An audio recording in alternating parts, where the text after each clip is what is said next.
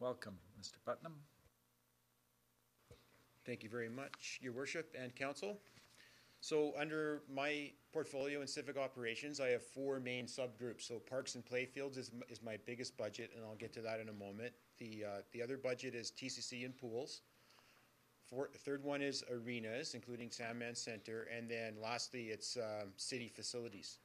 So parks and facil, uh, excuse me, parks and playfields is uh, an annual budget of 8.6 million, and that includes an awful lot of uh, services that we, we do provide. Uh, nature parks, uh, maintenance and operation, we have an irrigation crew. Of course, we have 70 place, playfields and sports fields that we maintain. We have a um, inventory of about 16,500 trees on city property that our uh, arboriculture staff maintain. There's only six of them. They work year-round.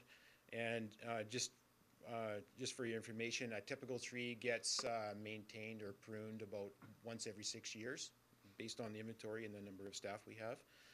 Uh, Parks amenities and parks maintenance, uh, those are, year- a lot of those folks are year-round. They um, maintain all the washroom facilities, um, look after uh, memorial benches, cemetery operations as well. So there's a lot, uh, a lot going on in this particular area.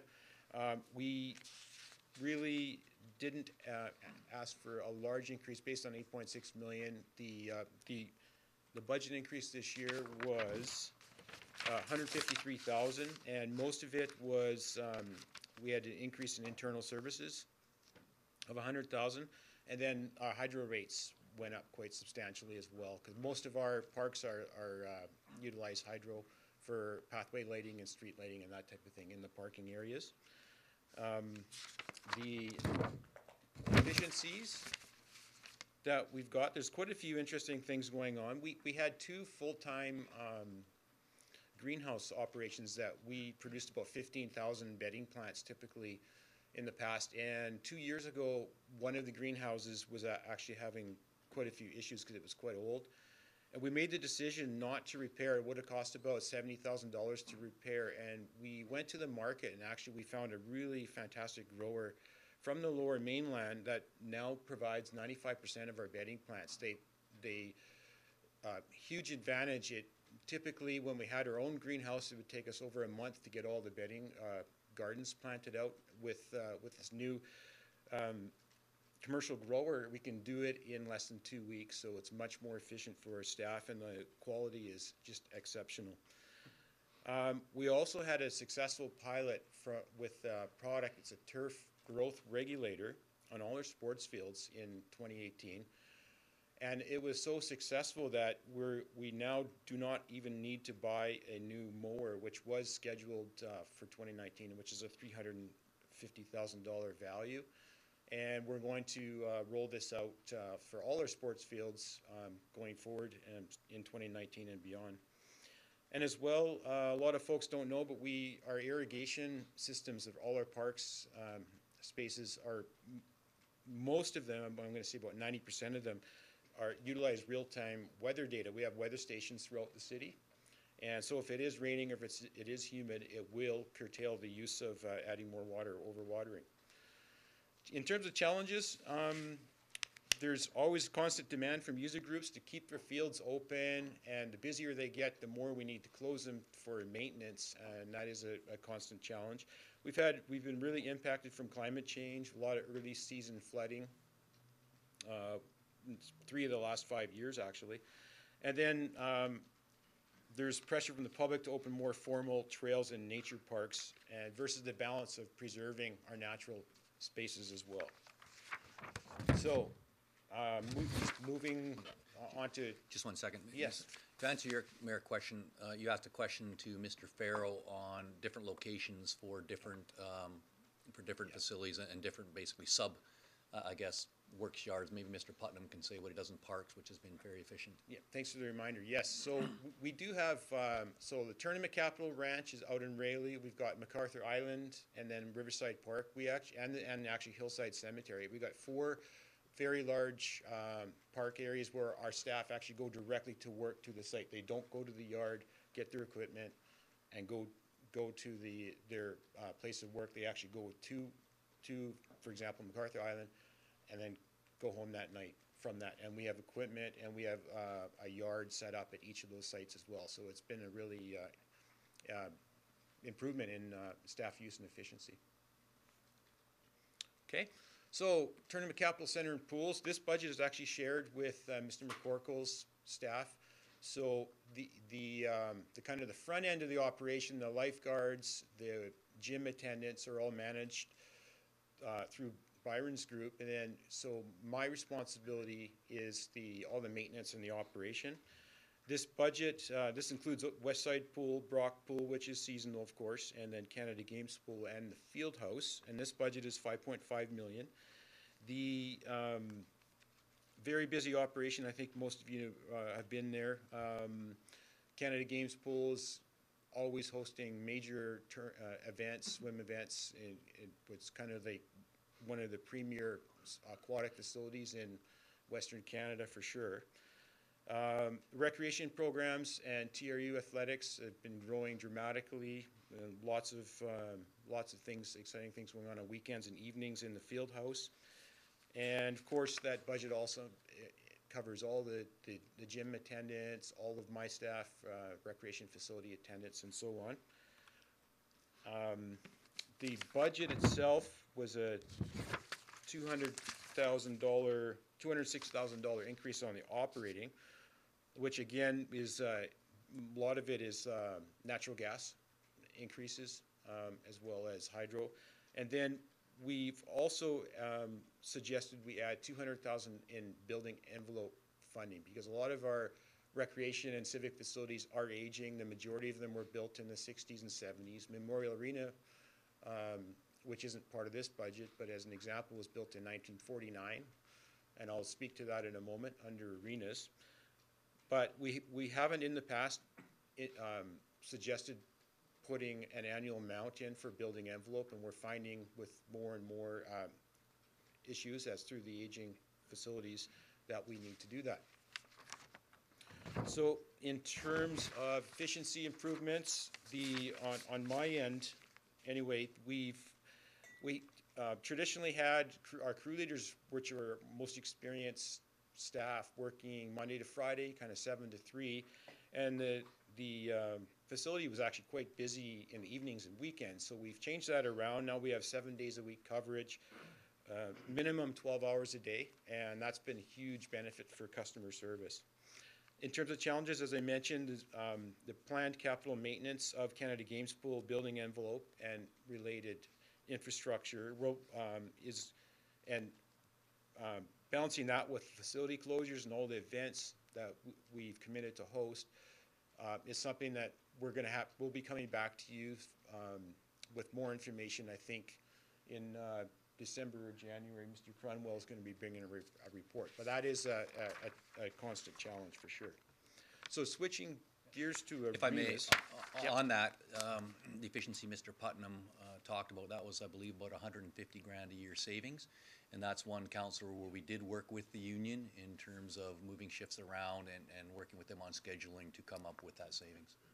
So, you know, uh, as much, you know, Mr. Putnam does deserve credit for that and his staff as well as the union uh, in terms of working for that for the benefit of the taxpayer. Thank you, David. Okay.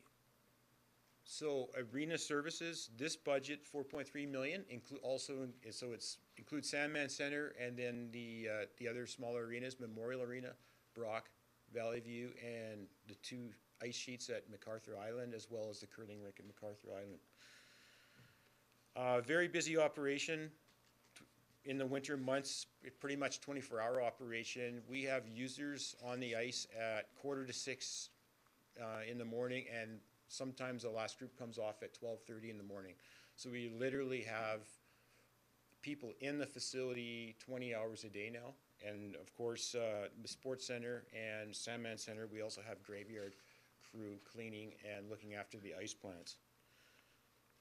Um, So the, just give you some more background, additional information, uh, Broccolist Arena, actually, because of, we, we, the community has lost, uh, the Icebox Arena a few years ago. And as a result of that, there's more and more pressure from user groups for year-round nights. So we've, We've got Brock Arena running year-round now. Um, this past year, for the first time in history, I believe, we had Valley View Arena open until end of May, which is unheard of. Typically, that is one of the first arenas to, to take ice out, and so, and that was based on all the spring and summer hockey programs and tournament requests. We manage a fleet of ice resurfacers. Um, of course, Sandman Center, we have a full event uh, changeover facility team there. And again, the Sandman Center budget is shared with Mr. McCorkle's staff. Uh, Mr. McCorkle's staff manage the relationship with food service providers as well as the concert promoters. So my staff really run the facility and maintain it. And in terms of efficiencies, as I mentioned previously, we, and Mr. Trawin mentioned, we've got a new crew schedule that kind of aligns better with the use of the facility and has our leadership, our crew leaders uh, working seven days a week now and has provided many, many uh, benefits in terms of financial as well as improved safety and customer service. Um, this year, we installed new LED lighting system at Sandman Center, so I, I don't know if you've been to a Blazer game yet, but it's noticeably brighter. And it's also provided some amazing benefits because the old lighting system produced a lot of heat, which put a lot of pressure on our ice making facility because it was always, the compressors were on longer, as well as the general heating and cooling for the facility. And so what we've seen is an uh, $18,000 reduction so far in, uh, in hydro. And we're gonna see a, a reduction in natural gas. We just haven't got the numbers come in yet. So that's been a huge benefit. And then one thing I wanted to announce that this year we're gonna have, uh, it's gonna be an annual event and it's really around the tragedy that we experienced in Fernie where three, three employees and a contractor, um, passed away because of an ammonia leak.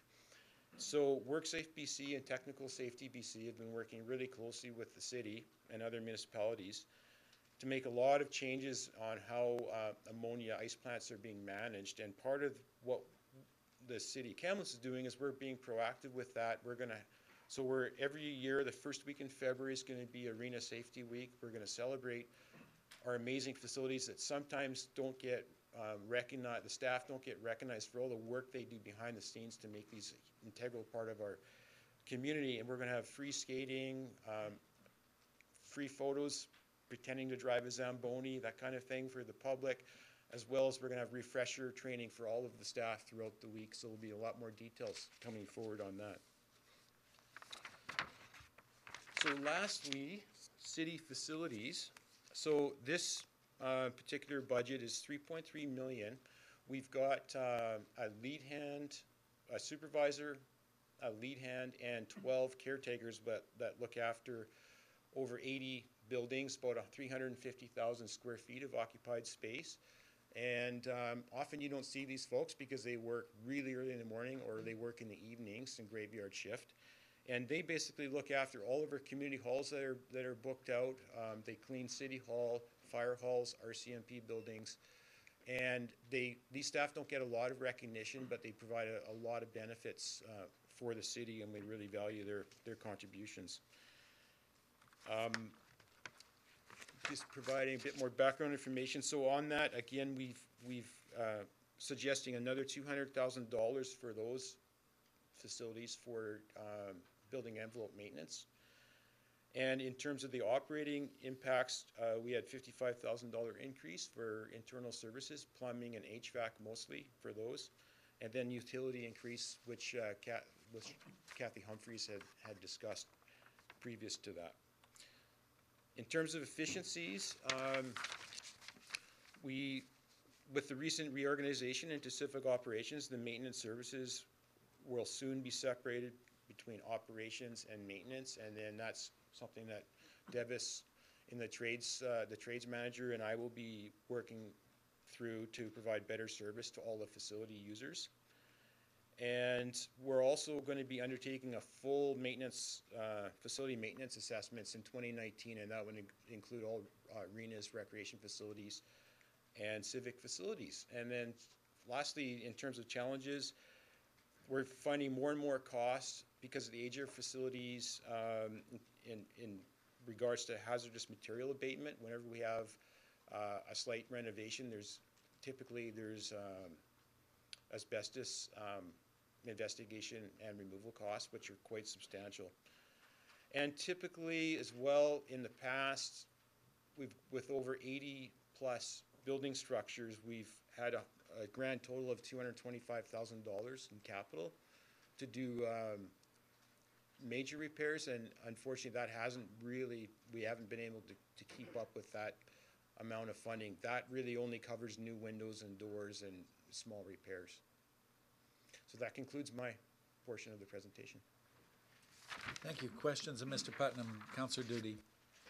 Thank you, Worship. Thank you, Mr. Putnam. Uh, You got quite the diverse uh, area and all the expertise to go along with it, I'm assuming. Um, Just a couple of really simple questions. One had to do with the urban canopy and the fact that you said that trees aren't really looked at except for once every six years or so. Uh, We, as a council, receive a number of emails with respect to arborists and their inability to make certain our trees are in good shape. Um, i- It's obvious that with close to sixteen thousand trees out there, it's gonna take some time to get at it.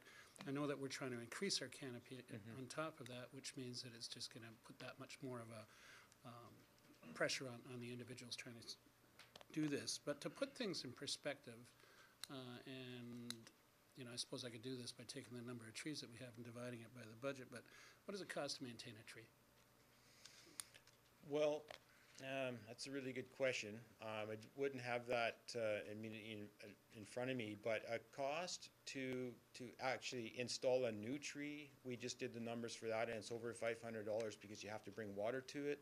You've got to, uh, purchase the tree, and it has to be a fairly mature tree, the soil amendment, and then the, the, the labor to maintain it for the first few months. So a new tree is five hundred dollars to, out, of- out of, uh, the other thing to the, also keep in perspective is the sixteen thousand trees, some trees may not, never need to, in a natural space, may never need maintenance, and trees in a more urban environment might get looked at once a year.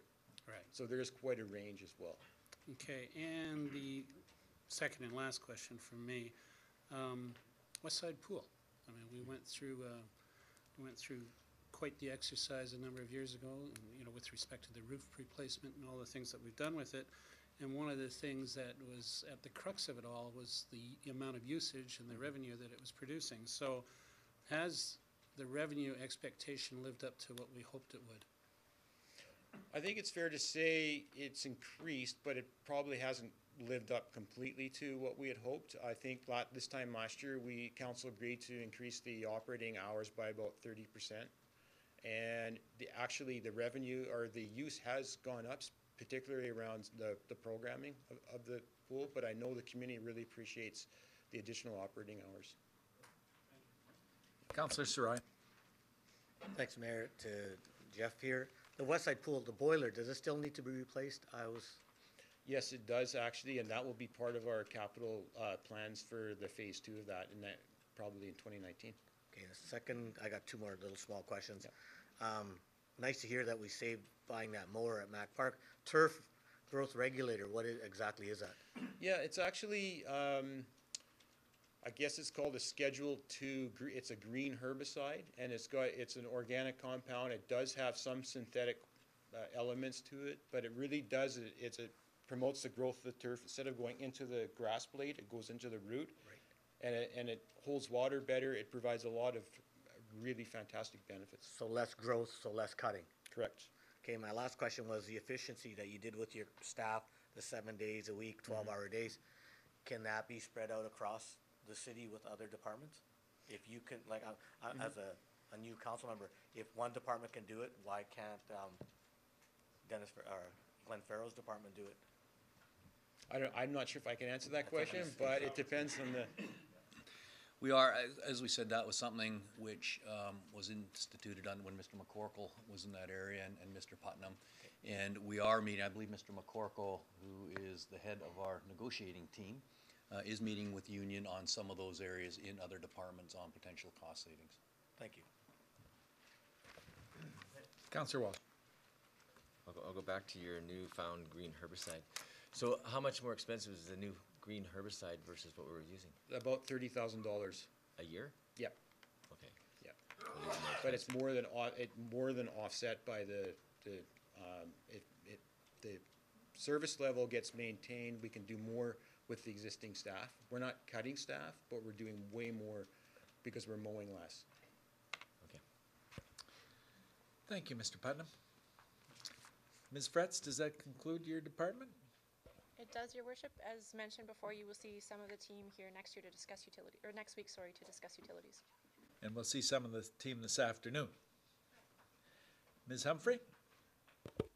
All right, uh, Mr. Mayor and Council, the next group that is going to present is um, Director Kwiatkowski's group with Development in Engineering and Sustainability. I will pass it along to him.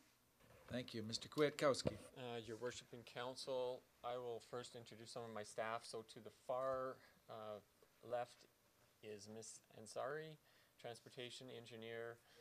Then we'll swing over to Mr. Glenn Cheatham, Sustainability Supervisor. Uh, next to Glenn is Mr. Jason Dixon, Building and Engineering Development Manager. Uh, then we've got Mr. Jason Locke, he's our Community Planning and Sustainability Manager. Into the back row, Mr. Devin Que- uh, Devin Matkowski, it's another ski. you can't go wrong with the ski, so engineering manager. And uh, lastly, we have Mr. Ro- Rod Martin, he's our planning uh, and development manager. Uh, missing is uh, Mr. Dave Freeman, who's the, the real estate manager and the assistant director. He's in a training session today. Uh, so I'll just do a quick intro look at uh, the first slide uh, for the department. Uh, so total budget uh, for 2018, uh, two and a half or 23 and a half million. Uh, total budget for 19 is just under 24 million. Uh, you can see the different uh, services that we provide there. I won't go through them. So the increase primarily for the department is is transit. Um, so transit uh, encompasses seventy-three percent of the overall budget. So it's a big ticket item. Uh, typically, our transit increases are due to additional service, uh, and this is the same case here. So most of the two hundred and fifty thousand dollars is for service that's already been approved by council. Uh, that service would have started in September of this year, and it's basically what we call annualizing. So it's now bringing that forward and putting a full year budget for that uh, service for 2019. Uh, there's a little bit of that actually, of that 250 that, that's for uh, some additional hours starting for potentially September of 2019 that hasn't been approved by council. Um, Mr. Mitkowski will get into that in a little bit more detail. I do want to mention there are some other increases, but there's some also some other decreases, so it's pretty much a wash with some of our other items. Uh, one of the other areas that is increasing is in regards to engagement, community engagement, primarily in Mr. Locke's uh, department. So uh, there's been increased uh, demand and expectations for community engagement, in, particular with a lot of the the planning projects that we're moving forward on. So I will pass it on to Mr. Jason Dixon.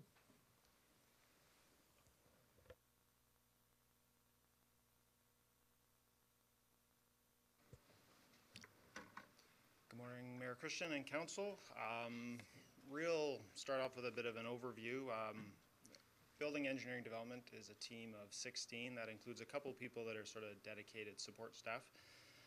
Um, building inspection, I think, is pretty self-explanatory for most people. Um, engineering development, though, sometimes is a bit confusing for folks. So that's the group that um, does engineering review on, say, a subdivision. Someone wants to develop some land, going to create some roads, utilities that the city is ultimately going to own, and working in concert with Mr.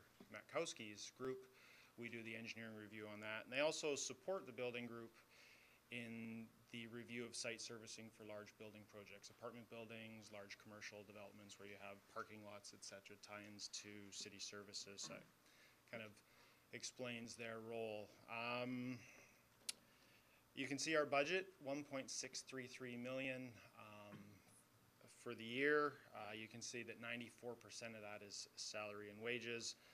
Um, there's a small component of internal services. One of the things um, that's included in there is uh, smartphones that our building officials use for doing inspections.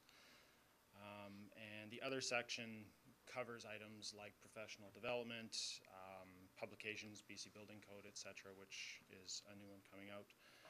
Um, and you can see that we have an increase of eight thousand dollars. Um, when we went through the budget, there were a variety of small ups and downs. Uh, in the end, that small increase predominantly comes from two areas. Uh, first, we're going to be introducing before the end of the year uh, a process called EBIR. So that's Building Information Requests. That's um, a service we provide when people are buying or selling homes. You can can reach out to the city, and for a fee, we will provide sort of a history on building permits if there's outstanding incomplete permits, expired permits, issues, etc. Um, we've seen a lot of increase in, in activity there. Uh, the EBIRs will allow people to request those online uh, as opposed to phoning in or emailing.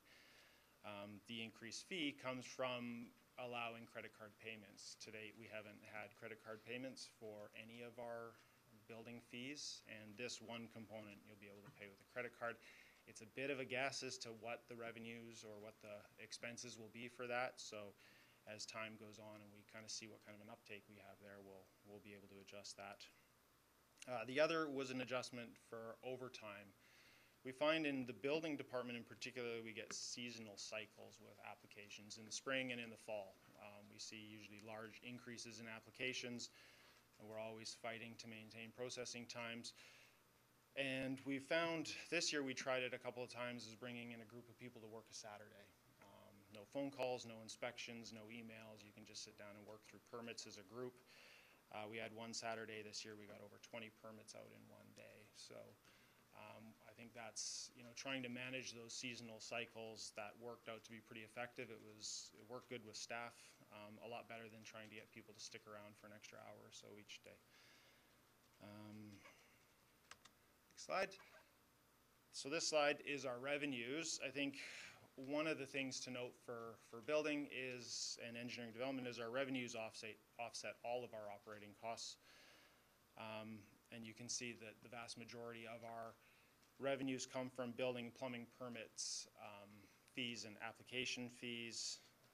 You can see what's shown there as property information requests, BIRs bit confusing. We refer to them as BIRs because we have other property type information request forms that Mr. Martin's group does in planning, but in our budget they're called, it's just the line item for property information requests.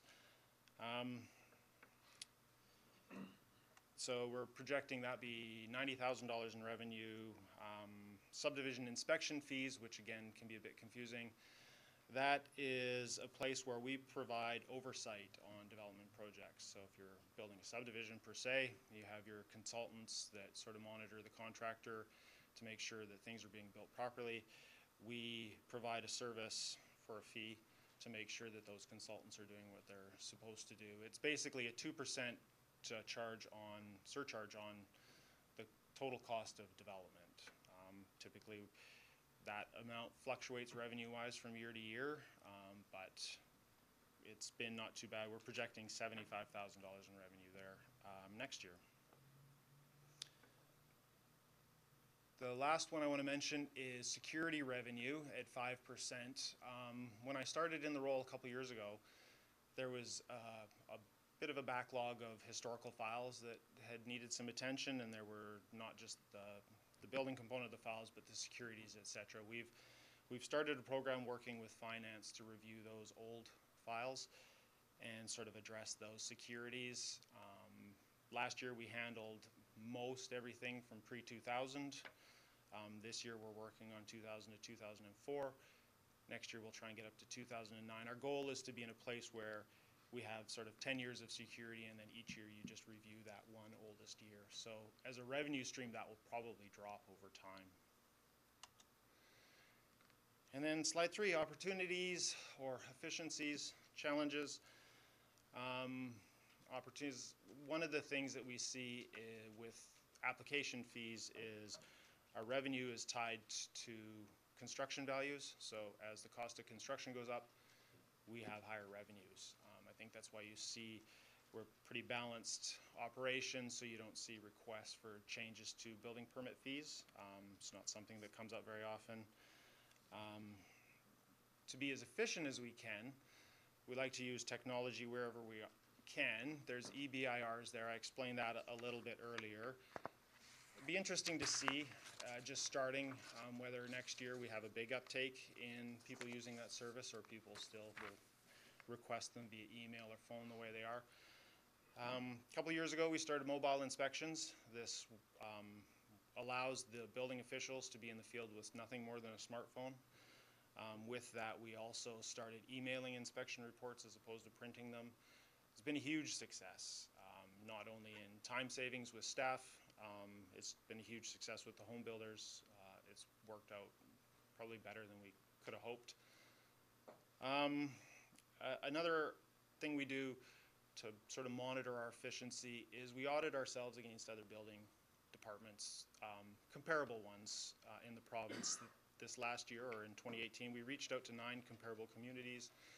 We created sort of a quick, it's not an apples to apples thing as much as you might think. So we reached out, we kind of created a bit of a two-page questionnaire that would allow us to compare our operation to theirs, the inspections they do, staff they have, permits processed, um, and we got responses from five. I'd hoped to get a couple more, but, but five responded.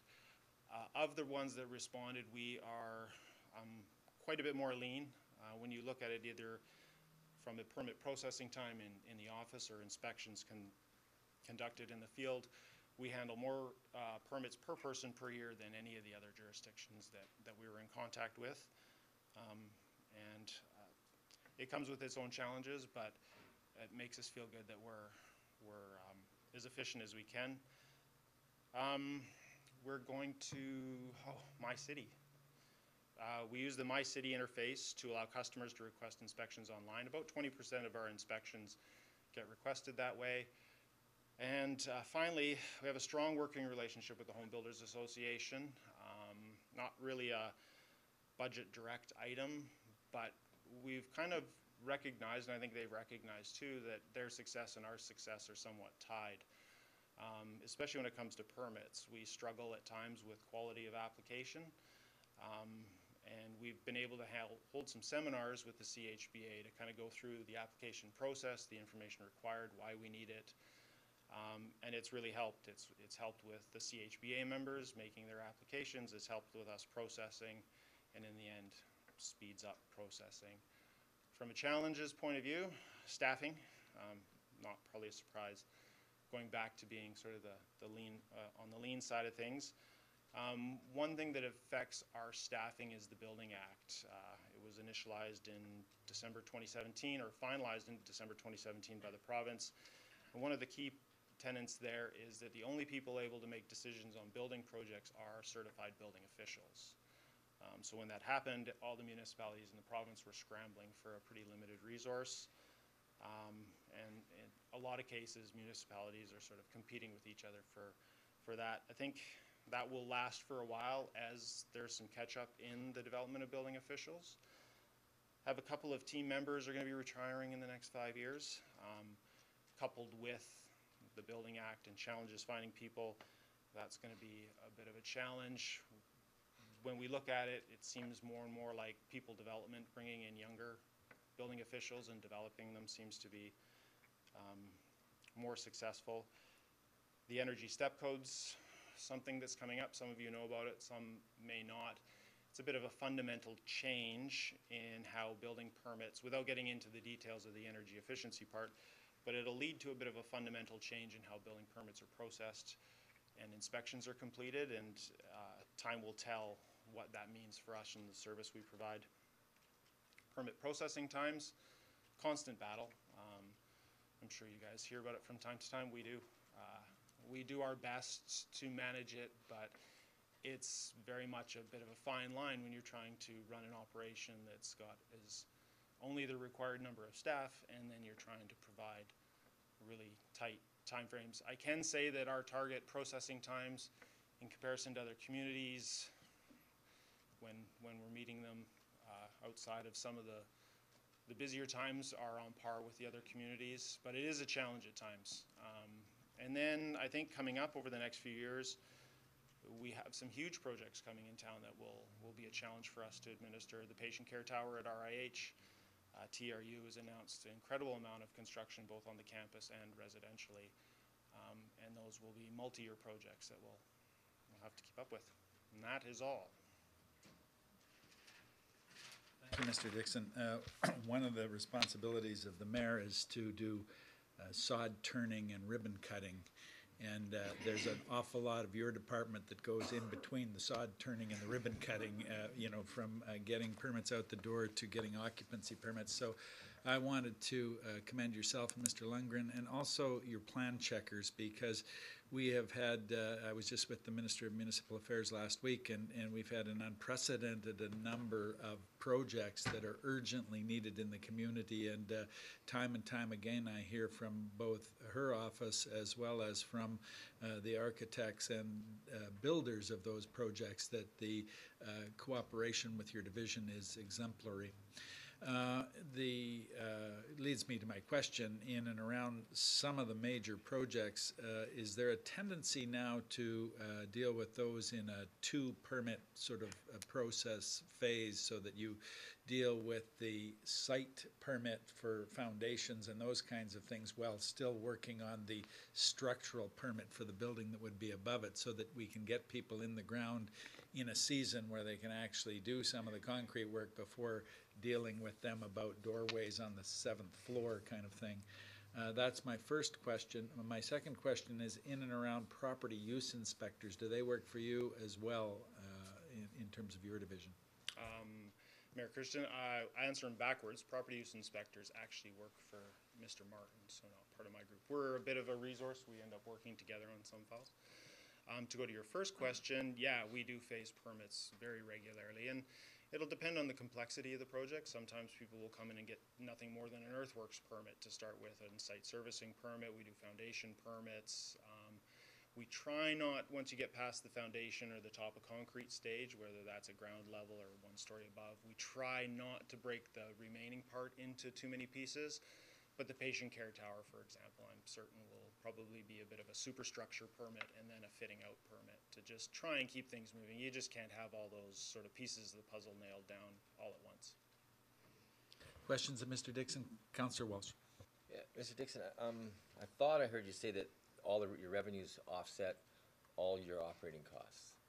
So the one point six million operating costs, the revenues. So, uh, tha- is that legislation that you can't go over that, or like, what happens if you make more money in the year?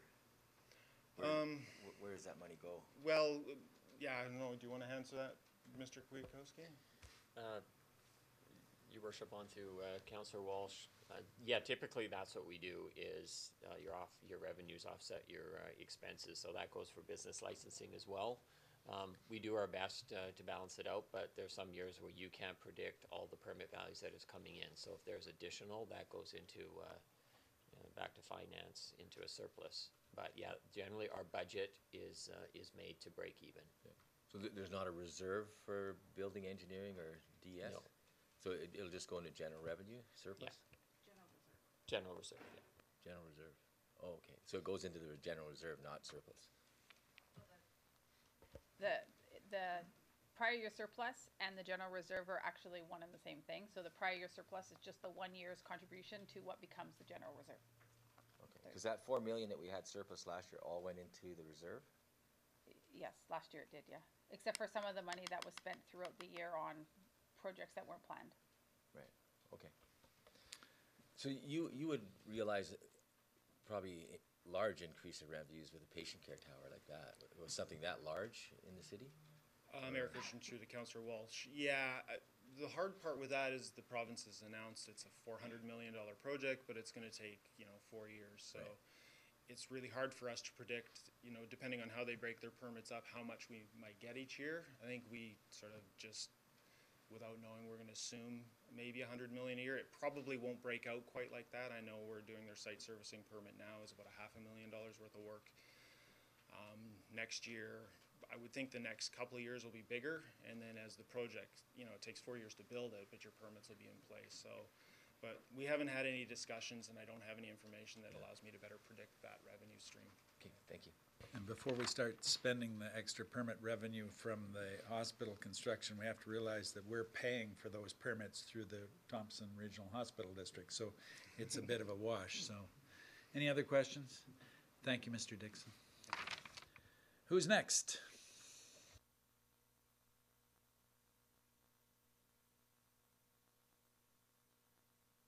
two members of your staff rushing the podium. That rarely happens. Mr. Locke.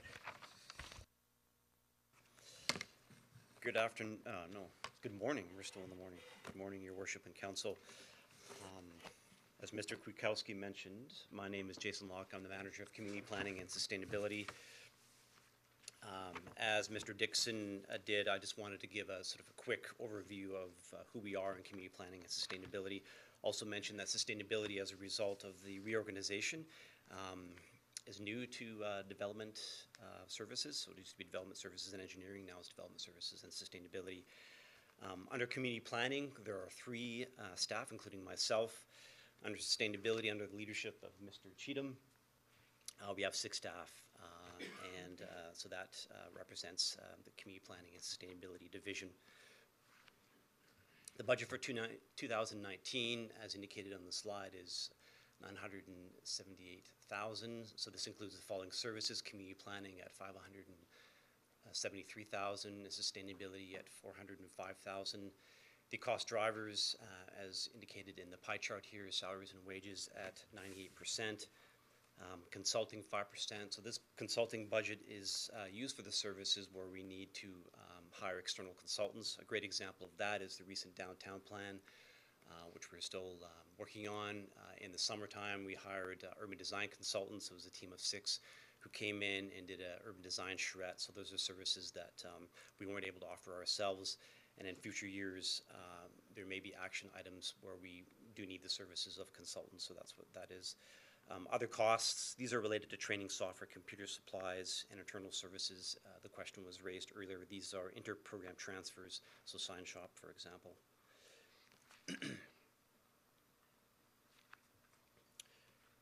So just as in terms of what we're doing in 2019, the downtown plan review and adopt in 2019. So we're about halfway through that process, looking to adopt the plan in June of 2019. North Shore Plan background review and research, um, we'll commence that work in 2019, uh, aiming to adopt that plan in 2020. Suites policy review and adopt, that's, um, have that wrapped up, um, with recommendations to council by the, uh, March 2019. And McGill Corridor Plan background research and review, again, commenced that work in 2019 with the goal of adopting, uh, that plan in 2020. Turning to sustainability, uh, Community Energy and Emissions Plan, I also believe that's the name is the same as Community Action Plan. Uh, They're the same thing, but that work on that has just begun. Uh, Anti-idling bylaw education, that bylaw was uh, recently adopted by council, so now we're focusing on the education piece. Green Level, Green Living Expo, that occurs on an annual basis. Electric Avenue, this is part of the Hot Night in the City, we're focusing on electric cars. And the EcoSmart um, programs, the EcoSmart team consists of four university students who are hired each summer, and they deliver education in schools and at community events to promote uh, various sustainability topics, uh, water conservation, waste reduction, energy efficiency, etc. So some of the challenges, uh, and these are also, I actually characterize these as opportunities as well. Uh, engagement. Um, so increasingly, we're being asked to do more engagement, um, but of course, engagement costs money. Um, so we're looking at an increase of twenty-five thousand. Um, actually, it's down to twenty because we recently received a grant to offset some of those costs. So this is money to do engagement. So host the engagement events, facility rental, audiovisual, all the uh, uh, um, expenses and disbursements with respect to community engagement. Um, the, the cost of project-specific expertise, so this is related to the example I mentioned on the design trip where we had to go out and bring in external expertise because we didn't have those uh, in-house expertise to do that. Um, so that's one of our challenges. Um, funding. So currently we have funding from BC Hydro and Fortis, uh, but the challenge is that this funding isn't uh, guaranteed for future years. On the sustainability staffing side, um, we have um, some of those staff uh, wages are um, offset 50% by uh, BC Hydro and Fortis. So um, we can continue in terms of opportunities to uh, look at uh, increased funding. So the opportunity, early and ongoing engagement, while there's a cost to do engagement, um, the, the, the opportunity, and the buy-in, the consensus building that we get from the community members is huge. Um, As you all know, uh, community engagement is an important part of what we do. It's sort of the back, backbone of our work and informs us of uh, what the community's needs are and opportunities are. So without that, um, our work is, is, is not guided on this community guidance. Um, Let's Talk campaign, uh, that's our online uh, um, engagement platform that was introduced just this year. And this has been a major game changer in terms of, we can now reach out to a broader audience uh, through online engagement, do surveys. The platform allows us to do a variety of creative things to reach out to those working professionals, uh, people who cannot attend our events. But this doesn't and shouldn't replace our face-to-face engagement, so we'll continue to have um, open houses and, and those face-to-face style engagement. But again, Let's Talk campaign has been, uh, under Ms. Heshka and her team, has been a major game changer. Strategic partnerships, uh, this past summer, we worked with the Downtown Business Improvement Association on our Fourth Avenue pilot project, and they donated um, time and materials in terms of some of the street games uh, and uh, other um, infrastructure pieces that they have. So they donate to that uh, free of costs, and we'll continue to work with BIAs on how we can um, uh, create some more efficiencies. And again, we have a um, uh, memorandum of understanding or um, agreement in principle with TRU, uh, looking at those potential partnerships as well. We also want to increase external funding. Sustainability has done a great job of this, of uh, acquiring funding through FCM, so uh, Federation of Canadian Municipalities, uh, BC Hydro, Fortis, and as I mentioned, community planning. We secured a small grant through BC Healthy Communities.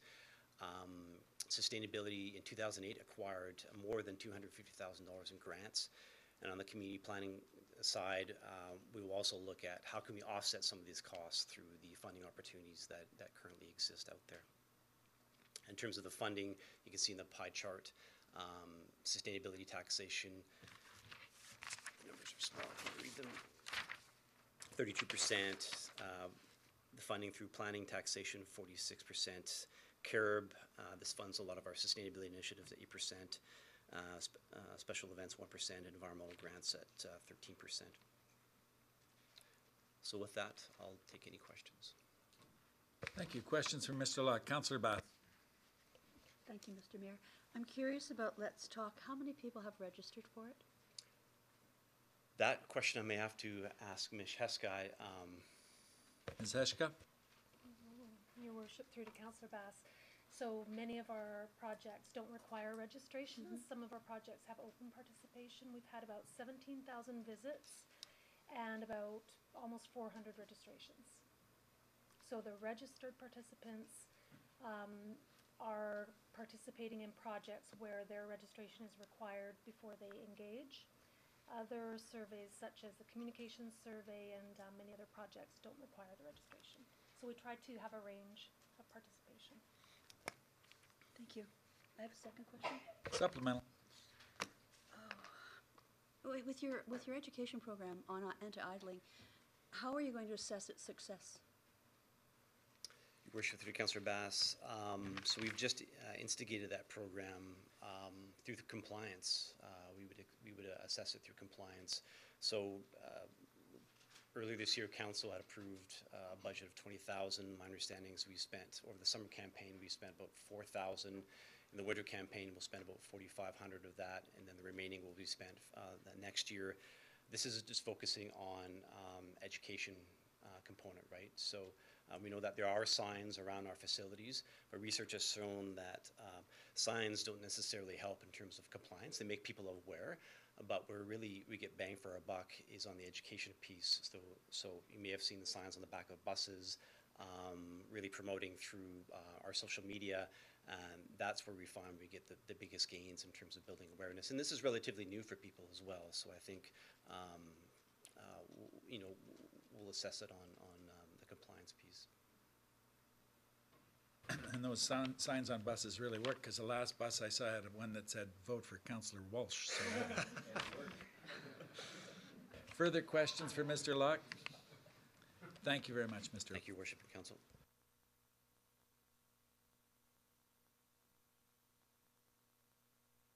Engineering, Mr. Matkowski.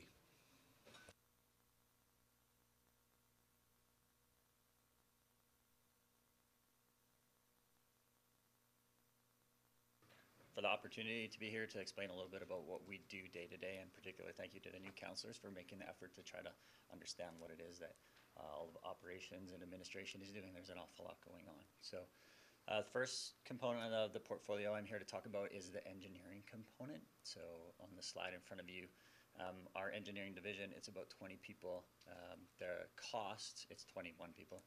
The costs are really broken out because it's a people department. It's the bulk of it is salary and wages. Um, there are some internal services where we leverage communication services, our document services folks, our fleet. So there's a small component of internal services where we rely on other departments to help us out.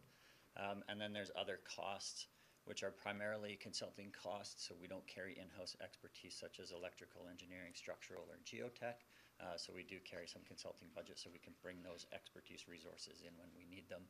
Um, other stuff that's in the other costs is some of the software we run is pretty expensive. We do a lot of water modeling, asset management um, modeling for the road PQI stuff, and a lot of AutoCAD and detailed design stuff. So just the cost of having that software, maintaining it, um, is big enough to show up in our budget. So what we do in engineering is four key categories. We look after traffic and transportation engineering. So traffic and transportation anything to do with the roads or the signals or operation of the roads, um, identifying where the regulatory signage such as stop signs and yield signs need to go, um, where do the parking signs go, how do you do all of that? So that's kind of the traffic, transportation, engineering. So obviously on road capacity planning, um, it does lead into the active transportation infrastructure. So that's our transportation infrastructure that's not for the car, it's for the people on bikes and the people that walk. Um, so we look after that as well. Um, one component that's not on this slide, we talk about a, a cost of 2.24 million to um, run the division. That's the operating cost um, through active transportation and traffic and transportation. There is also a capital component that doesn't show up in this slide. It's roughly 4 million a year. Um, and that goes towards projects like the Peak Creek Multi-Use Path, our active transportation projects, it goes towards transportation improvements like signalization. So we added signal at Wacom and Westsyde Road, so that comes out of that capital. Um, as does safety improvements like you will see at Tranquille and Fortune or at Summit and McGill, the right turn channelizations, the fancy red aprons. Um, that kind of stuff is what comes out of our capital. Um, obviously not part of that 2.24 million. Uh, so that's active transportation. Um, we also look after infrastructure planning. So that's the front end. That's all the justification that goes into a lot of the capital budget requests. Uh, we do a lot of work for the operations group, particularly water, sewer, drainage, and streets, um, in helping put together their capital budget requests and where does it make sense for us to spend our money on capital. And then we also look after infrastructure design. So we have a group that does specifically, almost specifically detailed design for projects. So putting together the detailed design packages that go out to tender um, and then allow us to build some of those capital projects. So um, that infrastructure design group also tends to focus on water, sewer roads, um, drainage, active transportation infrastructure.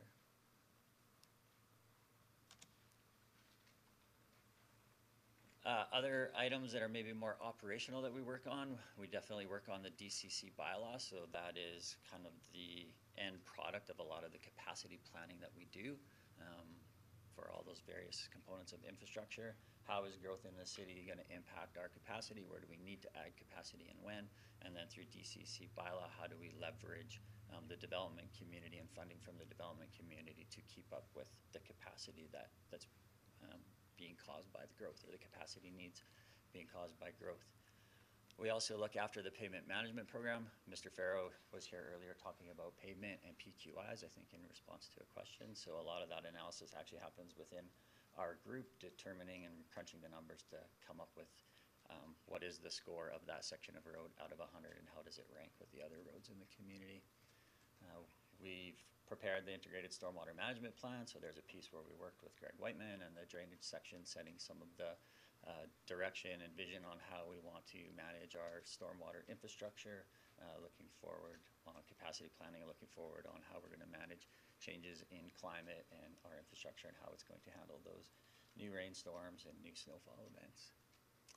Uh, we do review technical issues on development applications, particularly um, on the traffic and transportation side, we assist Mr. Dixon's group a fair bit reviewing development applications. Um, he does have a very good group that looks after development applications, but anytime um, they're getting into the weeds on a technical issue or an engineering issue, they will call us in as kind of an external expert resource to help out with some of those reviews. Um, so as you can tell by those last examples, we do a lot of work for other city departments. Um, and that pie chart on the right is the budget allocation. So most of our 2.2 million of, of wages, we actually, that actually gets taxed through other business units. Um, and when, then we recover that money as we do work for them. So um, the first pie chart from one o'clock to three o'clock roughly, that's engineering services. So if we're doing assistance on someone's operating budget, so Mr. Wightman will have questions on efficiencies in a pumping station, we'll work on that and look at that. It'll be charged through an IPT engineering services, um, same as streets and internal services. So that's kind of where we leverage other people's operating budgets. The remainder four pieces of the pie is where we are actually working directly on a capital project. So um, we actually recover our expenses by charging to those capital projects. So the need is actually the project itself, um, but because we work on it as opposed to farming out that work to an external consultant, it's a cost the city has to spend anyways to do those projects. Um, we, we do that service, we provide that with in-house expertise. So I'm going to talk about challenges first and then the opportunities. So challenges on the right-hand side, I think this is kind of across the board. There's increased expectations of public engagement. I'm not saying it's a good thing or a bad thing. It's just it is a it is a resource draw. Um, uh, I think it's mostly a good thing because the better informed the public are around projects, the smoother the projects go. Um, but it, it is something that we do see as an impact on time. Uh, there is also an increased regulatory impacts on projects and approvals. So regulations seem to evolve. They never seem to get simpler. They seem to get more complex, and we get new regulations where there weren't any. The specific example we put up there is the BC groundwater regulation. So it used to be in the province BC, you could pretty much drill a well anywhere you wanted on your own private property and access the water there. Now there's an entire provincial registration system and requirements that you need to go through. So now if you want to drill a well, um, there's an extra layer of uh, work that has to happen ahead of time to be compliant with regulations. Um, on the opportunity side, I talk about balancing in-house services versus contracting out. So I don't ever see us being resourced to the point in engineering we, where we can deliver all of the city's capital projects or do all of the city's planning needs. We're always going to have to leverage those external experts and external consultants to help us out for the, the peaks in just demand, peaks in amount of work, um, and then those areas that are like niche areas of expertise where it doesn't make sense for us to have someone in-house who's, who's got that specific of an expertise. So we want to make sure that we, we have the right balance. Um, we definitely favor doing work in-house. a couple examples just on project delivery. Um, when we do a project and we try to do it entirely with internal services, one example of that would be Windbreak Street or 12th Street. We find that the engineering and project management component of those projects is between 10 and 13 percent of the total project cost. Um, so that's project management and engineering. The remainder goes into actual construction and purchasing asphalt and purchasing and paying for the contractors. When we look at some examples where we've heavily relied on con consulting or external um, engineering firms to do the, the design, and we look at project management and engineering costs, we're now up and around um, the 18% range. And Pacific Way uh, was a project that we did a couple years ago, the lower part of Pacific Way, where we relied heavily on consultants. Um, Grasslands is another project where we relied heavily on consultants. Um, that's not saying that we do way better work than the consultants do, um, but there's a project management piece that the city just has to do as the owner of the project. And I think that's where the primary efficiency comes from is even if we're relying on consultants to do the bulk of the engineering, we still need city staff to look after that project and keep it moving forward. Um, so those, we spend about 18% when we go out of house on project management and engineering. We spend between 10 and 13 when we keep those in-house and utilize internal resources. Um, there is always the question, are we doing as good as, as the external consultants may be, may be doing? And that's where we're going and we are registering with EGBC, Engineering and Geoscientists of BC, for the Organizational Quality Management Program. And that's really, Engineering Geoscientists of BC are the regulatory body that looks after the profession of engineering in the province and gives us um, our abilities as engineers to practice, that's the criteria, and they've set, set standards and policy manuals on how engineering is supposed to be performed in the province. So by registering and being compliant with that program, we're showing we're keeping up with all other engineers in the province. So that's how we can say we're providing the same quality of product as um, anyone else out there may be doing. Uh, Opportunity also integrating asset management with infrastructure planning. Uh, you heard an example of the Singh Street project where it's not just a road project, not just an active transportation project, um, but putting both those pieces together. So the road was really a maintenance project. It's not a new road, but it was one that, that was near end of life cycle. Um, so if we can keep finding those efficiencies and opportunities, we're gonna better spend taxpayer dollars more efficiently. Uh, Another opportunity is the Transportation Master Plan, which uh, was at council this summer and was, was adopted by council. So there are a number of initiatives in the Transportation Master Plan that now we have good policy direction to go forward. Um, I'm not gonna list them all, um, but we're doing a downtown TDM. Uh, We have a Vision Zero strategy identified in the Transportation Master Plan, so those are all things that we'll be working on going forward. And then the last op- opportunity in engineering I want to speak about is uh, water meter data for infrastructure planning. And it's not just water meter data, so the meters that are in the homes and in the residences, um, but it's the city SCADA data that tells us how we're pumping and where we're pumping, um, data around traffic counts and data around uh, PQI, so real data around what is the, the um, how far along its life cycle is the pavement in a road. Um, that data, particularly the water meter data, the better it is, the better planning we can do. Um, the less con, the less conservation we have to put into our planning, the less contingency, I guess is the better word. We can kind of run a tighter line if we have better information to plan off of.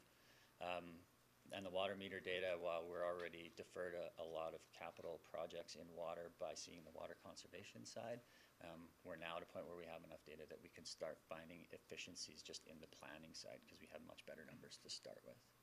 So that's engineering in a nutshell. I'll stop here and see if there's any questions. Questions of Mr. Matkowski? Councillor Walsh? Thank you, Mr. McCoskey. Um, I just want to go back to the um, contracting out, which I want to know more about. I mean, you obviously, it- it- you alluded to the, uh, that it's more expensive, but is it because we don't have the internal human resources? Is that why a lot of times we contract out, like you mentioned, Pacific Way and, i- i- with, the- or is it a special expertise? It's both. Um, Your worship through to Councillor Walsh, it, it's both. So um, we don't want to staff up for the most peak times in, in demand because then when things slow down, we have people sitting around who don't have anything to do. So sometimes the projects are big projects or there it's kind of a peak demand. We get a whole bunch of projects happening at the same time. So we'll farm out projects because of that. But then we will also, if it's a project that's primarily electrical related, electrical engineering, we don't have that expertise. So we, d- we do that as well, so. it's Okay, yeah, because I just see a, lo- lot of contracting out, and, uh, well, especially from a consultant point of view. But do we keep, uh, stats, would Ms. Humphrey have, uh, stats to monitor that by departments, like, to so, to know when it should maybe trigger that we need a new FTE, new employer, employment? Because we're spent, overspending in that end? Like, are we monitoring it to know?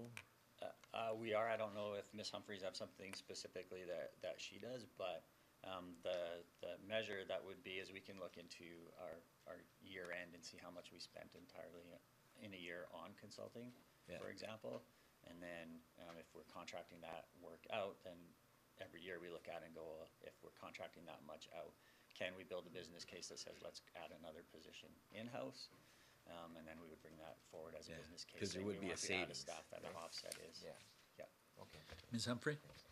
Uh, just to, to add to that, Mayor through to Councillor Walsh, I mean, this is exactly what we've been doing ongoing for the c- past couple of years in efficiency. So I think it was two years ago when we brought forward the business case in trades, I believe, um, to hire, um, an HVAC person because we were consulting out, um, you know, HVAC maintenance and, and work like that. So now we have a person in-house who does a lot of it. We still contract it a little bit. So each of the departments, we have challenged them to put together business cases. And, and like Mr. Matkowski said, sometimes the volume of work isn't there that it would make sense to have a person in-house because it's either specialized or we just don't need a full-time body. And, and getting a half-time person to do a, a specialized piece of work is quite difficult if they were a, a staff person. Mr. Matkowski, I was talking to Ingrid Brokop the other day about ICBC's initiatives in and around traffic calming and high accident intersections and those kinds of things. There's also an opportunity where they participate in some of the infrastructure improvements within the city of Kamloops to offset their overall cost. Those are all contracted out as well, are they not? Um, trying to make sure I answer this fairly and correctly. I don't know it necessarily fits as stuff that we contract out. Um, ICBC does provide some resource to do an evaluation on those projects to determine their level of contribution. Um, but one service that ICBC does do that we don't do, um, it- and it's kind of a check on our work is road safety audits. So we do work with ICBC to make sure that even after we've done our engineering, we'll take it out to do a check on it with someone who's specifically looking at the safety aspects, and that's a service that ICBC uh, provides for us, and we definitely do use that. Thank you. Councillor Sarai. Thank you, worship, to city staff. Um, I hope I can ask you about the bump outs, the new style of roads that we're doing with the bump outs. And, and I'm bringing some concerns that the public's brought up during my campaign and, and I actually have the same, some of the same concerns. Last winter, a lot of the bump outs, the closest part of the road were getting plowed over and they weren't visible when someone was driving. I see somewhere, some parts of town now, you've got the, the yellow cone or the orange cone sticking out at the closest part to the street. The concerns that we, we were noticing mostly around schools was now we're actually bringing the children closer to traffic by bringing the bump out, out. And I understand by doing some research with your city staff that the whole aspect behind it was to shorten the distance of peop- persons crossing the road. The concern that parent advisory groups are having is we're bringing the children that aren't paying attention or a, a typical child. Now you've got distracted driver, drivers with many avenues of distraction. and As they're driving through, you're bringing those, those bump outs even closer. So I'm wondering, is that the new style of roads that are going out? And, and are those roads even narrower than before? Because what we're noticing out there is when the cars are even parking now, and you get a school bus and a car coming by, are those bump outs creating a narrower road? And is that the future of the road designs in Kamloops now? Uh, Your worship, through to Councillor Sarai. Uh, As a generality, I would say, yes, I think the expectation of, of narrow roads and those bump outs um, is a direction that we want to go towards, and that's, that's recognizing that our road corridors aren't just used by vehicles, they're used by pedestrians as well. Um, It's multiple things that kind of happen with that. Um, the crossing distance that a person has to go to actually cross the road is one that you mentioned. That's absolutely true. But the narrower roads, and we've all experienced it, whether it's congested because of parking or it's narrower because of the bump outs, causes everybody to slow down. Um, so reduced speeds, reduced crossing distances for the pedestrians. Um, the accepted science, um, the accepted traffic engineering is that um, that's the, the better way to go. So as we are doing projects and doing reconstruction projects in roads, we're definitely looking at opportunities. And that is a feedback we also get from ICBC. Um, the mayor mentioned um, how we do road sa- or how we leverage ICBC, and they provide some road safety audits. So that is the that is Part of kind of the industry practice. Yeah. Thank you. And I guess we'll move, to- oh, I just wanted. Last question, I- I Councillor think Walsh. It was way back in page one of your PowerPoint, but you actually are the first department that have a lower budget by ten thousand dollars, is that what it said at the beginning? Oh, yes. You're, you're not, you're not, not as- not asking for any additional funding for twenty nineteen? Uh, That's correct. Um, Even though wages do go up every year Yeah. as part of our contracts, um, it's been offset. We've reduced um, our ask mostly in consulting services. So uh, we think that in the coming years, we're going to leverage a little less um, um, that part of it. So the wash is about 10 grand less. So yeah, we're Yeah. asking for 10 Well, 10,000 congratulations. less this year. Thank you.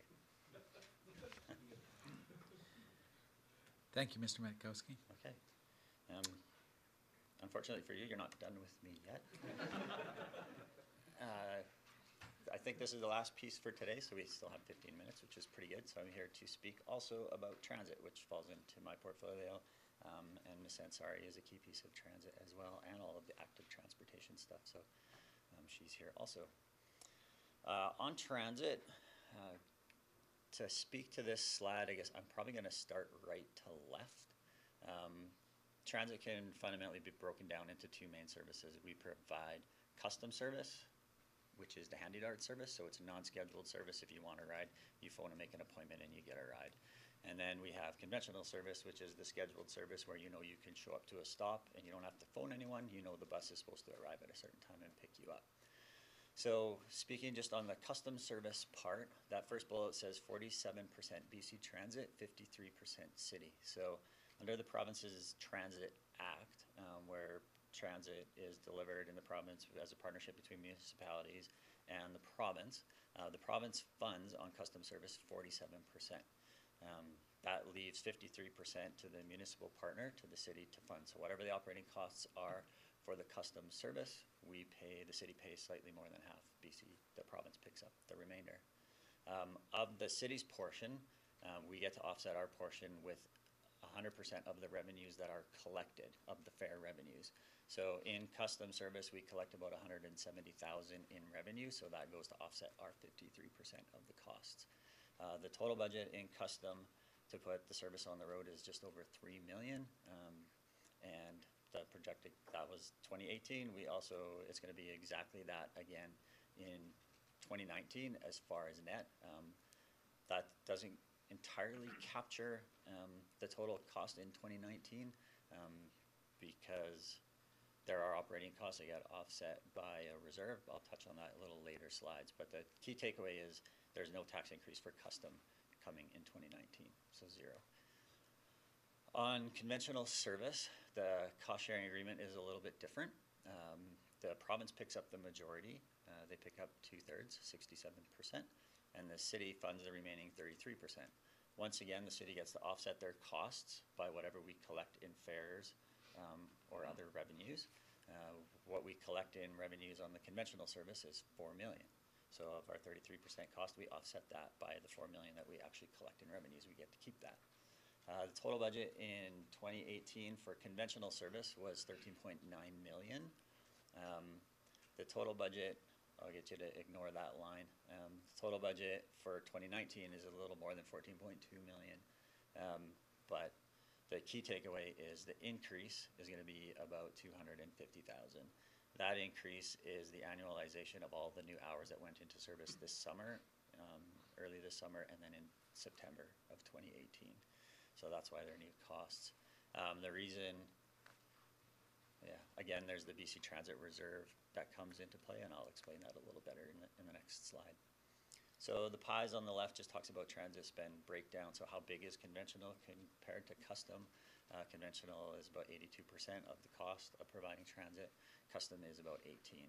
And then if you just compare the revenues, so how does hundred and seventy thousand compare to four million?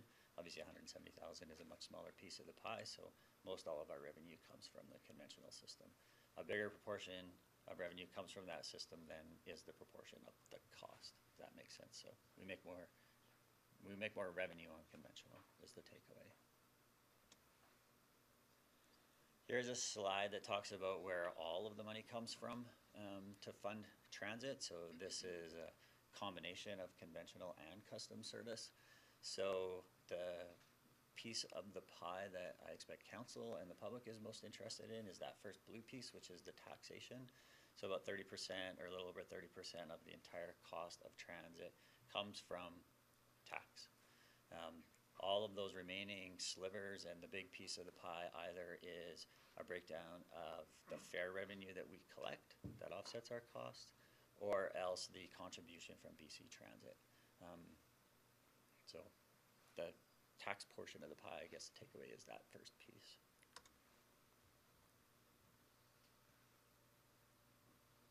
Um, just some more stats on transit. Um, we have 18 custom buses, so Custom Transit uh, has 18 of the light-duty buses. They're the smaller handy dart bu- buses. We also have four small buses that on the outside almost look the same as the handy dart buses, but that we call them community buses. They're actually part of the scheduled conventional system. and that's where we put smaller buses into areas where the big buses don't fit. Um, probably most easy example is the new service to TTES lands, um, where some of their roads don't really suit a big bus, so we, we provide that service using a community bus.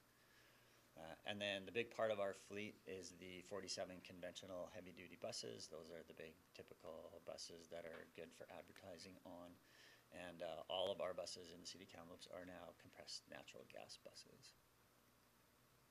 Uh, our scheduled service puts on approximately 3 million kilometers in a year. That's providing service to the customers.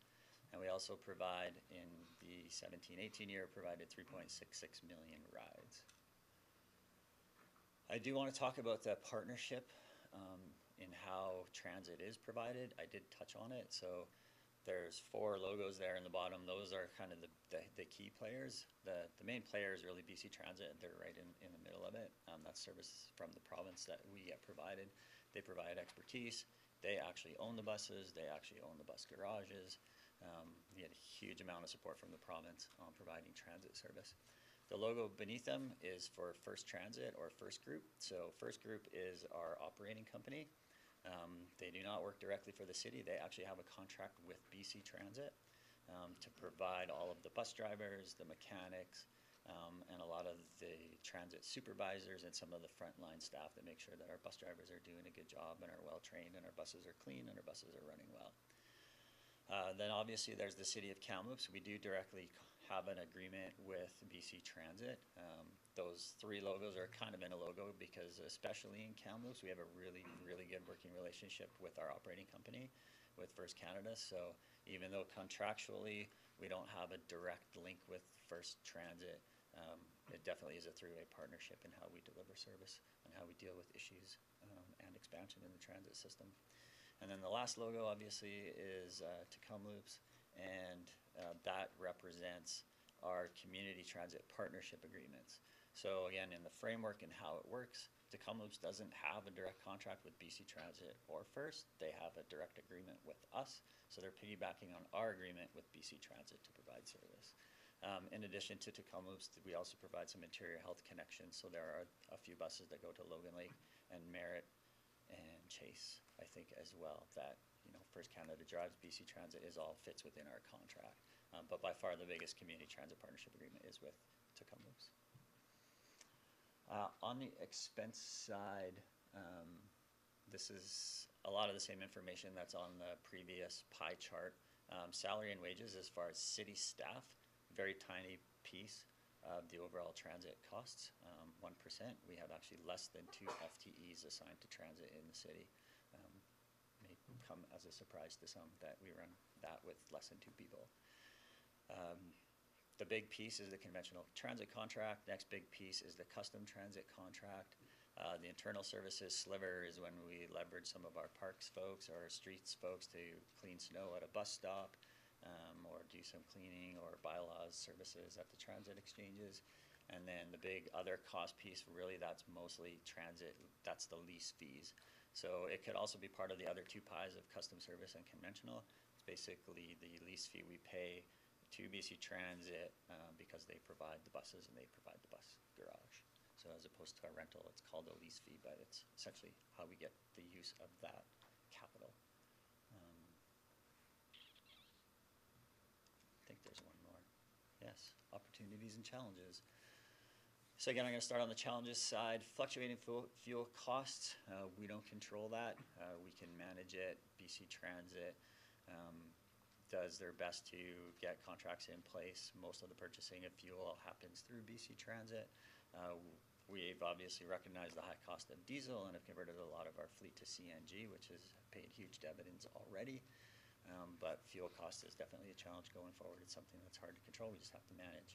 Um, the high cost per ride or the high cost of custom service. Um, it's just a reality. Custom service is expensive to put on the on the road. There's a very real need, absolutely. Um, we just have to recognize that it doesn't come at the same price as conventional. So a lot of the work that we've done and are doing moving forward is trying to make sure that people are using conventional service, the scheduled service, whenever they're capable, and custom is only for those who really, really need it um, because it is an expensive service to provide. I do have the bullet about the BC Transit Operating Reserve. So earlier in the slides, I said our operating costs aren't going up. And the operating costs, the total costs actually are going up, but our share of them and our immediate tax impact is not. And that's because through the BC Transit Act, BC Transit is able to hold a operating reserve. So um, we pay based on budget years, and they get money from the province based on budget years, and any time that there's efficiencies and the budgets were actually higher than actual, that leftover money goes into, that surplus money goes into a reserve and BC Transit holds it. So BC Transit has a current operating reserve, I think in conventional for Kamloops, it's about one point eight million. And that's a, some of that is city money and some of that is the province's money, but it's held in a reserve and it can be spent, or the intent of it is to offset any operational increases. So if the cost of fuel goes up, the money will come out of that reserve to offset it. If the cost of wages for the drivers goes up, money will come out of that reserve to offset it. So we, the whole idea is to smooth out those impacts. Um, there's a date on there with the BC Transit Operating Reserve of 2021. So while we've been insulated for I think the last three years, and we expect to be insulated for the next two or three years from those annual increases, small increases in fuel, small increases in wages, the projection now is that in 2021 that reserve probably dries up.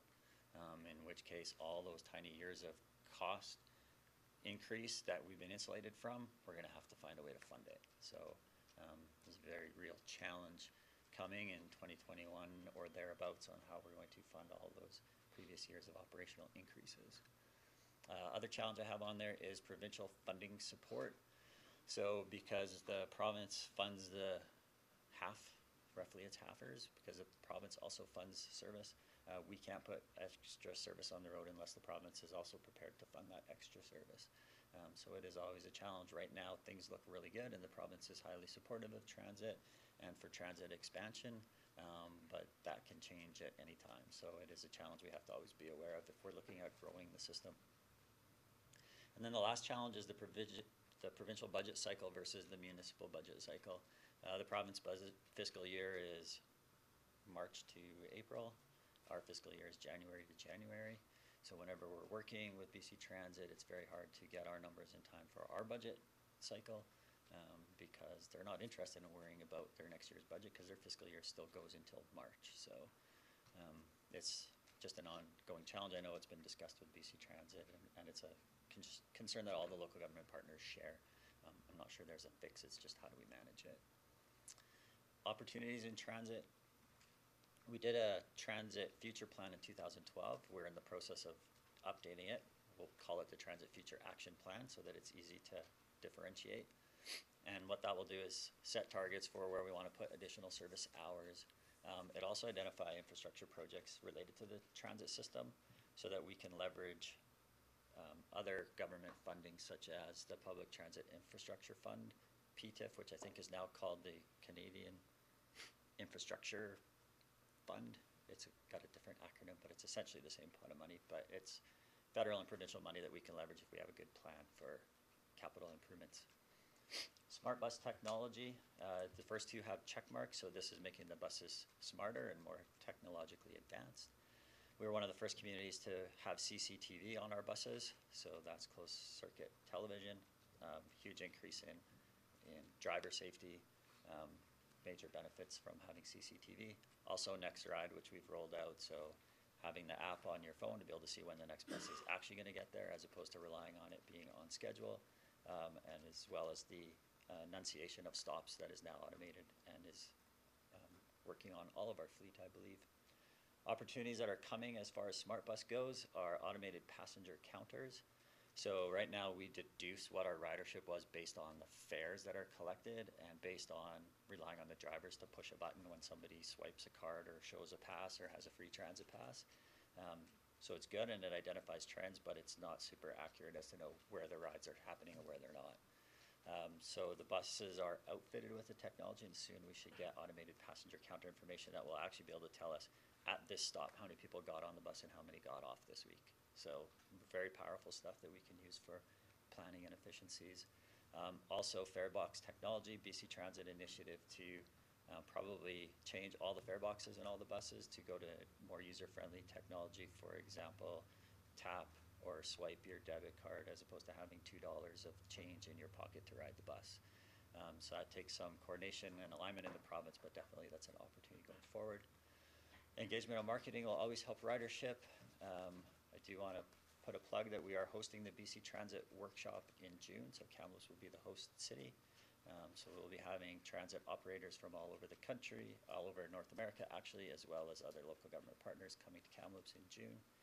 And then alternative fuels, we've had great success with CNG, um, but our light-duty buses all run on diesel. BC Transit is looking at alternative fuels. Electric makes a little bit of sense, or more sense for smaller vehicles, so um, we're kind of at the front of the line with BC Transit, looking at opportunities for Handy Dart.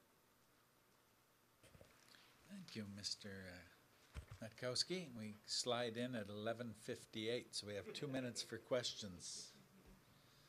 Councillor Hunter. Thank you, Mr. Mayor. I'll try to be quick because I know everyone wants lunch. So uh, I just had a quick question. So to go back to the very beginning of the transit section, um, the custom service um, budget has decreased a little bit for 2019, and I was just wondering, or maybe it was just a typo, because it had gone down by like twenty thousand dollars. But our service levels going to stay the same. Service levels will stay the same. Um, the total cost should be a typo. The total cost is gonna be a hair more, but the city's cost is gonna stay exactly the same. Okay, and I was just wondering, you know, with the budget um, not changing at all, it does that mean that there will not be an opportunity to increase service levels because there's an, seems to be, anyways, an increasing demand for services like Handy Dart, and I heard you say that you're encouraging use of conventional, but I was just wondering if there's might be an opportunity for more provincial funding to try to supplement or support that. Um, Your worship, through to Councillor Hunter, a- absolutely. Um, there is a business case that is coming forward, uh, later in the budget process about adding additional hours for conventional service. That would be another opportune time to talk about additional hours for custom, if that is the wish of council. Okay, and just my last question was the Transit Future Action Plan that you mentioned. When is that happening? Is- So the Transit Future Action Plan, we've actually already started working with BC Transit planning staff. We had a meeting with them just this last week where they came to town. Um, we will be going out to the public and engaging with council probably through a workshop as we get into that plan. Right now, we're just collecting some of the background, making sure we have some good initial recommendations going forward. Uh, but it's already underway and we will be completing it in twenty nineteen. Okay, thank you. And we'll call it a committee of the whole when we do it. Councillor Walsh. Yeah, thanks for your presentation, Mr. Rakowski. Um, I'm just curious, on custom, it doesn't, it says the revenues there, but I know we pay for taxis too in, in that end, don't we, from Handy Dart? If Handy Dart doesn't, isn't available or something, we, we, we hire ca- taxi companies? So is that, is that in the calculations or?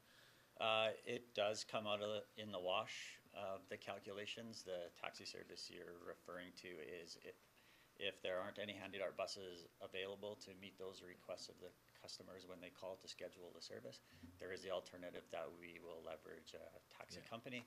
So we'll provide them a voucher to get a cab, then they'll get the cab and they'll get their trip, and then we reimburse that cab company.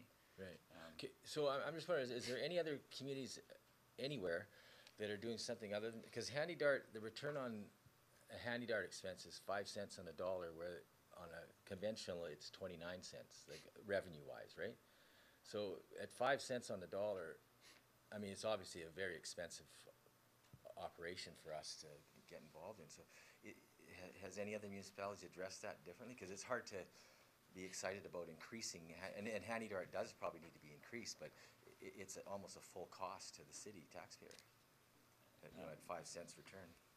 Uh, yeah, your worship, through to Councillor Walsh, uh, custom service is expensive, uh, but like I said, it is definitely, there's a real need, and I think each community recognizes that, and that's why custom service exists. Uh, I'm not aware of any initiative of other communities as far as like not doing custom service at all, but it's finding that right balance is like how much custom service is appropriate, um, for our community. So nobody's jobbed it out fully to taxi companies or U- Uber or any other type of, it just, as far as you know, there's no other option right now. Because Uh, we as need, we need far as I service. know, no one is exercising another option. Pretty much every community you go to that has transit has a custom. Okay, thank you. Councillor Sarai. Thank you, uh, Mr. Mayor, to staff. I'll make it quick. So you mentioned uh, smaller buses are going to to Tk'emlúps land, uh, band land to uh, service the new agreement. Have we also done that to outskirts of the city in all four corners, where smaller buses go out there? Because they're mostly going empty, and we could sort of piggyback them, bring them closer to town, and then fill up the bus, the bigger bus, as they get closer to town. Are we doing that yet, or is it in the, in the works? Uh, your worship, through the Councillor Sarai, it's an ongoing assessment that we do with BC Transit, and we are continually pushing because we continually get the feedback that there's big buses with nobody in them. Um, the key thing that you have to remember though is that there is a portion of the route, if there's a portion of the route where the bus is full and you need a big bus, you can't switch halfway through the route to a small bus, just because of operational efficiencies and scheduling. So while, um, whenever there's an opportunity to utilize community buses, we will. Most of the routes get super busy downtown, the bus is full, and then they go out to an outskirt and they run a lot of the time with not many people in them, but there's, there's no way then you can meet the peak part, yeah. Thank you very much, Mr. Matkowski, uh, and I want to thank uh, Director Fretz and Director Kwiatkowski and their management team today for uh, the uh, leading us through this first half of the budget piece. So next week, I take it, we'll hear from Mr. McCorkell and uh, Mr. Trawin and, and uh, Ms. Humphrey and the other departments that are there. Uh, So with that, uh, then we are adjourned uh, for this session. Closed.